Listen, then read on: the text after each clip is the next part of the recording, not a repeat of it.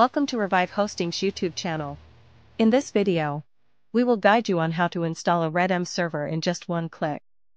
Click on the Framework installer in your Revive Hosting game panel. Scroll down, and you will find the VORP RedM server option. Just click on the Install button. The installation will take some time. After installation, go to the Startup page. Here, you can add or change the license key, server hostname, project name, and Steam Web API key. Then, go to the console and start the server.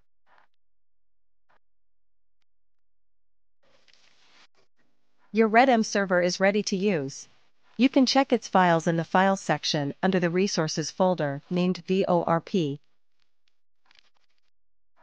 Enjoy your RedM server with Revive Hosting. For more details and discount offers, visit our website or join our Discord channel.